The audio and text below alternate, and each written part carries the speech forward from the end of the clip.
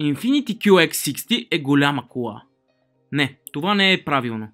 Infiniti QX60 е много голяма кола. Толкова голяма, че спокойно можем да пренесем офиса си там. Освен това, е и скъпа. Не, и това не е правилно. Много скъпа.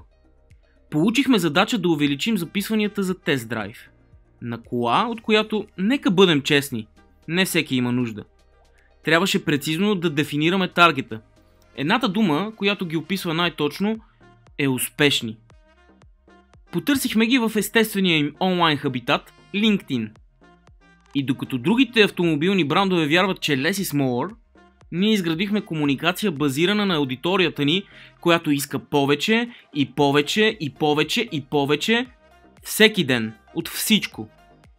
Таргетирахме тясно C-level позиции и хора, които тъкмо са били повишени чрез InMail формати и банерна реклама с интегрирана лид форма в LinkedIn.